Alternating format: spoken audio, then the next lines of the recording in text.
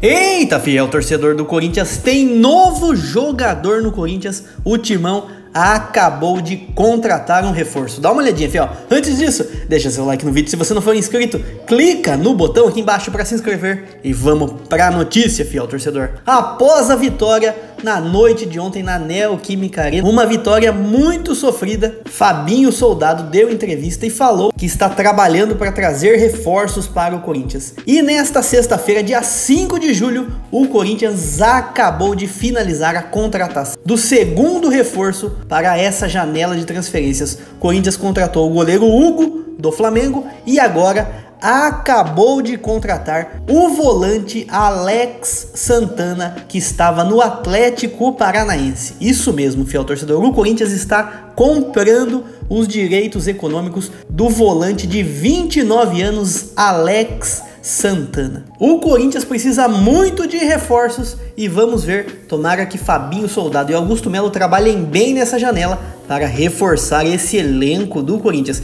O que, que você acha, fiel torcedor? Será que o volante Alex Santana vai fazer sucesso com a camisa do Timão? Eu quero saber a sua opinião. Comenta aqui embaixo. Tamo junto e vai Corinthians! Ser corintiano é bom, Betão? Demais.